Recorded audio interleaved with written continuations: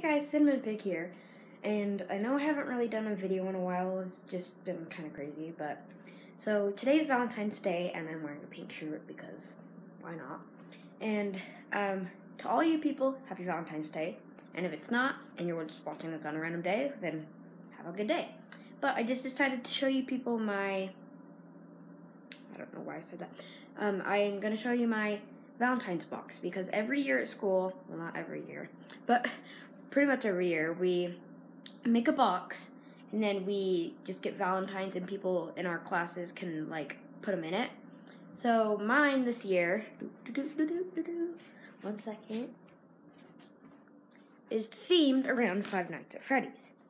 So this is the top, and this is Chica, as you can see. And you put like the candy inside of her mouth, and then it says at the bottom, I need candy, in like the bubble letters from all the games, like Chica's bib and everything. And then, let's move over here. And then on this side, I have a picture of uh, Foxy and Bonnie, which is kind of creepy. And then, oh no, it got bent. And then, move it over to here. And then we got the Five Nights at Freddy's World characters. And down here it says Happy, Val Happy Valentine's Day. And then it was confetti.